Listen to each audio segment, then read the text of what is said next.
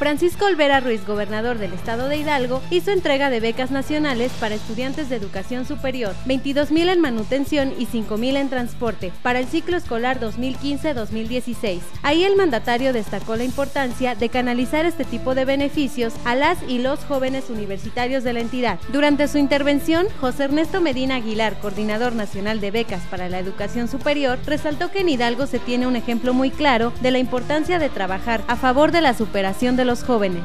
Por otro lado, Olvera Ruiz llevó a cabo la inauguración del Instituto de Formación Profesional de la Procuraduría General de Justicia del Estado, así como el curso La investigación del delito de feminicidio. Esto en el marco del Día Internacional contra la Violencia hacia Mujeres y Niñas. Ahí el mandatario señaló que es primordial entregar resultados y soluciones, así como trabajar de manera conjunta, coordinada, seria y responsable de la mano del Consejo Estatal para prevenir, sancionar y erradicar la violencia hacia las mujeres.